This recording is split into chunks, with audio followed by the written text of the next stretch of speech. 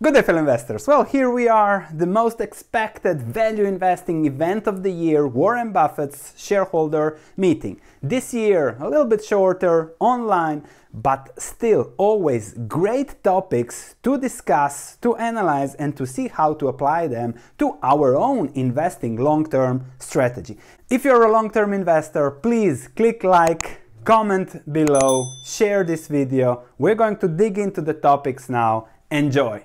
So online version of the Berkshire Hathaway shareholder meetings this week and Becky Quick was asking the question so it was much more efficient than it usually is. Warren Buffett answering the question directly, efficiently and in four hours he did much more than usually in even six hours. So let's go over the topics. The structure of the meeting was made in four parts. So his presentation, his discussion about America, investing in America, not betting against America, touch on earnings, selling aircrafts, his loss on aircrafts, just a formal meeting, the formal part of the meeting, and then questions by Becky Quick, Quick that he, she got from the public and online.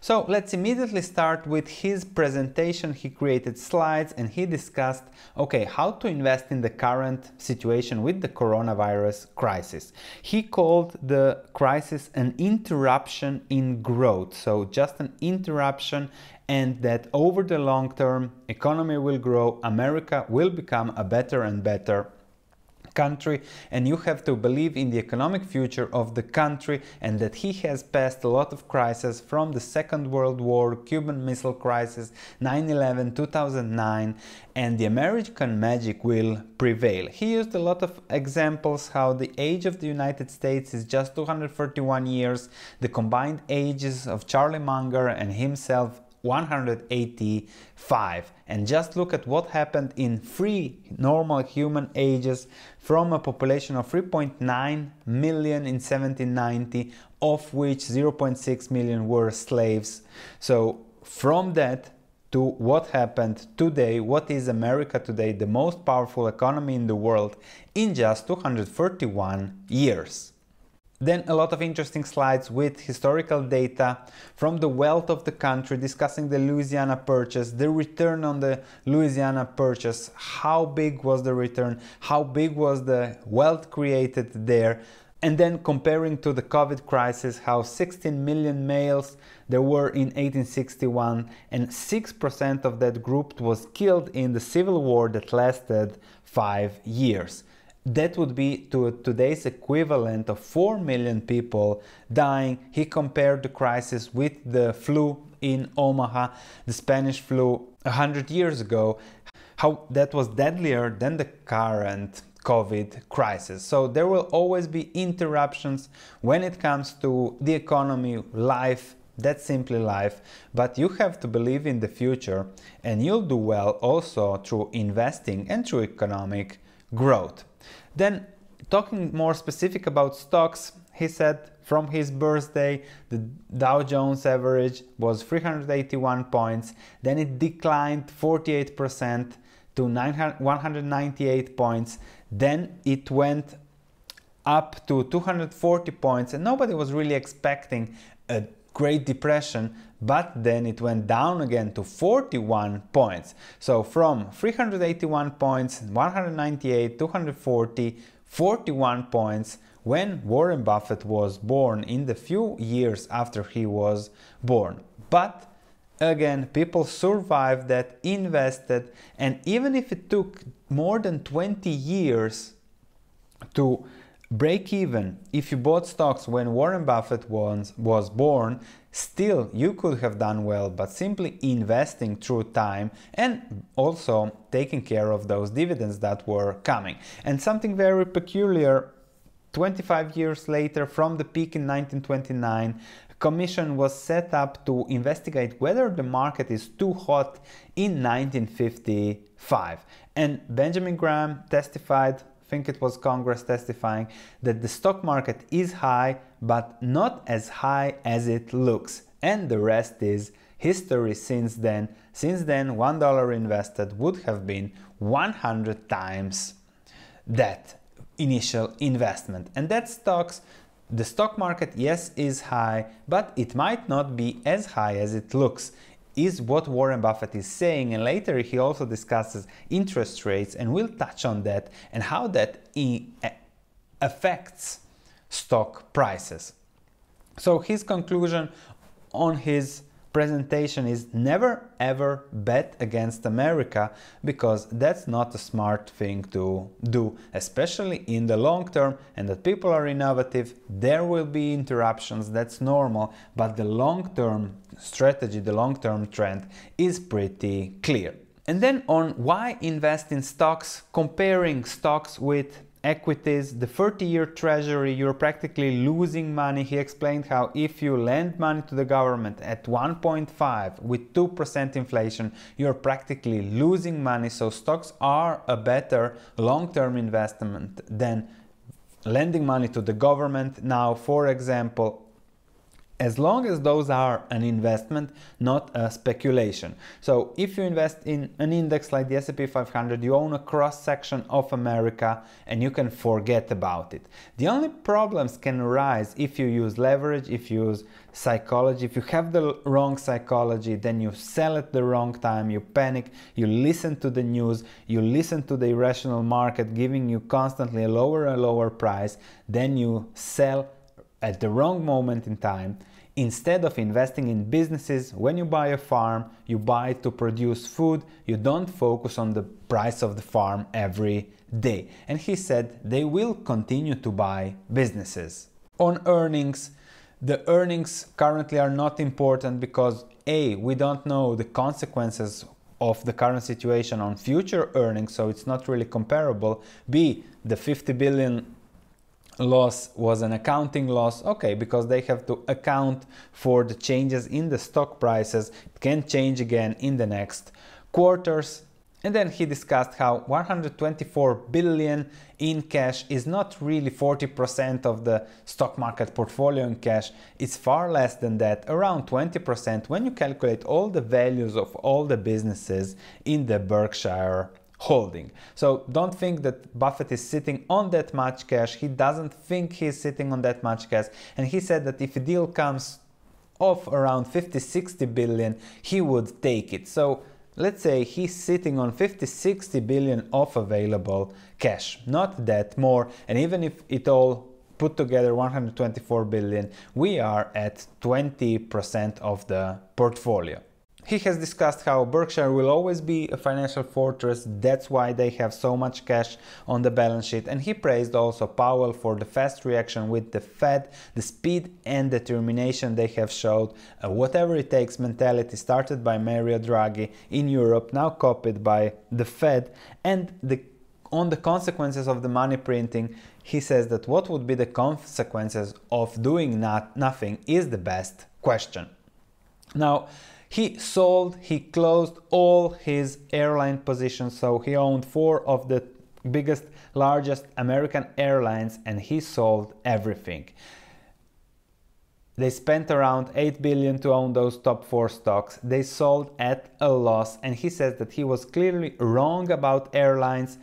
Airline business changed in a major way and uh, they had all to borrow 10 billion. The time for them even if peak business is there to repay those 10 billions will be very long and very painful and he doesn't know whether 3 years from now how many people will fly and that's not clear to him and there are too many planes and if it's just 80% of the current flying numbers, it's not enough to justify the investments in the new planes, in the growth, and this will cost Berkshire money, but it's his mistake. And actually, if you think about it, since ever he has been against airlines because there's no competitive advantage. And now he's he found himself unfortunately due to this situation right again and lost money in airlines. But they closed everything closed the position and took the loss. So very interesting how even warren buffett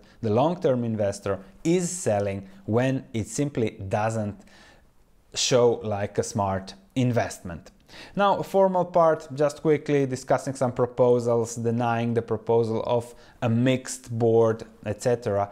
So we can immediately go to the questions and then again on airlines. So explaining how it's not good on 80% of prior traffic, so he sold and the airlines will be really hurt. And this was something very interesting. He discussed how only big companies were somewhere where he could put his money into owning maximum 10%. So if you think at the market capitalization of Delta Airlines, he can own only 10% on 20, 30 billion. That's the limitation he has with investing. So to, for Buffett to invest in something, the company should be at least 30, 40 billion in market capitalization, which eliminates a lot of things where we as individual investors can look at. Then there was a question, should we buy stocks now when he's sitting on so much cash?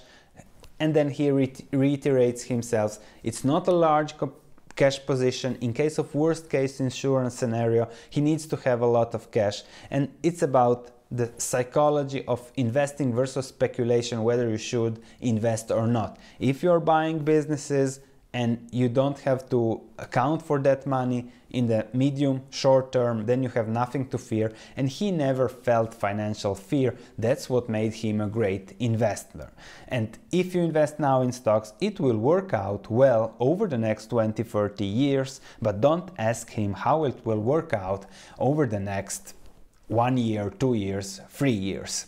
Then he also discussed money, how there is no shortage of money in the market, like it has been the case in 2008 2009 therefore we are not seeing the convertible investments eight of them that he did back then with the bank of america goldman sachs etc there was a short period with panic in the markets in March, but that when that froze, but the Fed acted promptly. And he has no idea what will happen next, but he says they borrowed money and it's a good time to borrow money because of the very low interest rates. And if we look at the 30-year fixed rate mortgage average, which is something more peculiar for personal borrowing of money, the interest rate on that is very, very low.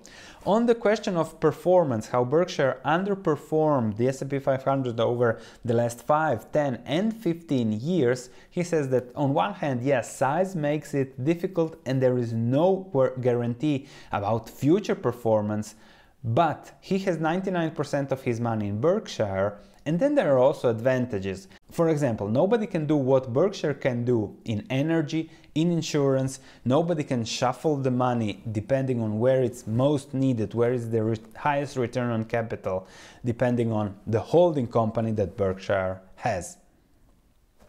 Then on oil, it doesn't work at $20 a barrel. Production will be down and there is a lot of oil in storage and it will take some time to clear out. So we might see lower prices for longer and therefore there is a risk of permanent losses of capital from oil companies to affecting even the banks that are lending to those oil companies. And bad debt in energy loans if that happens then equity will be wiped out. So that's a risk of investing in oil. He knew about that. He knows about that. And it's all about the oil, the price of oil, and he doesn't know where it will go long term. On the question of breaking up Berkshire, he says that it will be a high tax endeavor, that it eliminates the possibility to move capital around his capital allocation. That is one of the best Berkshire advantages. Of course, also discusses Wall Street doesn't get fees if nothing happens, like it is the case with Berkshire. On interest rates, he says that there is more money printing and negative interest rates or low interest rates and he has to see it to believe it that it will not affect inflation somewhere in the future. He doesn't see negative interest rates and more debt for eternity. He was wrong 10 years ago, he might be wrong now, but he is now really saying how we are testing the question with much more force now, the most interesting question in economics. How come we have such low zero interest rates, negative interest rates and no inflation? So he is looking at the answer. He doesn't have the answer, but he is ready for anything. And they also discussed pricing power of their businesses like the railroad, like the energy businesses that will do good in an inflationary environment. A question was related on the government, US government defaulting because of the huge debt, and he simply said that can't be happening because the government owns the printing press and if you own the printing press you cannot default and how the debt will just grow grow and grow and it's not a concern because they are borrowing in their own currency therefore no default the currency my addition is can lose value real purchasing power but that's a different story. And then the most interesting question answered at the end on buybacks how okay if you need the money to keep growing as company then it's not intelligent to do buybacks. You have to buy only below what the business is worth. And then he says how saying like okay we as a company are going to do 5 or 10 billion in buybacks over the next year is insane it's crazy because then you are not thinking about the most important things when it comes to buybacks, which is price. At some price it does pay to do buybacks, at some it doesn't. But as you announce it to the market, then that's not really sane. And then if some companies do stupid financial engineering to do buybacks to leverage the maximum out of their balance sheet. He was practically referring to here to Boeing. That is something that he says it's stupid. I hope you enjoyed the summary. If you really enjoyed this mindset, Buffett's investing mindset, this is the channel to subscribe to. So please subscribe, click that like button. If you don't like this video, change your taste, click that like, like button. Thank you for watching, looking forward to your comments, and I'll see you in the next video.